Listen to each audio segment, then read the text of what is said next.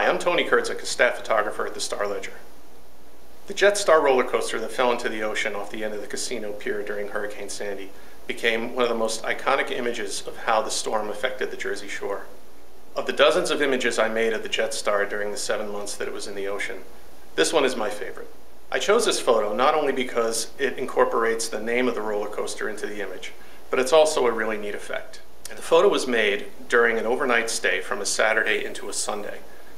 It was compiled out of 75 different 30 second exposures using special software that creates the streaking stars through the sky. The interesting thing about this photo is that I decided to do it as I heard that the roller coaster was going to be dismantled. As it worked out, this photo was the last possible night that a photo like this could have been made. On the Monday after I made it, they announced the Jetstar would be demolished, and on Tuesday it was gone. Sunday night into Monday, it was cloudy. So this was the last opportunity to get a photo like this.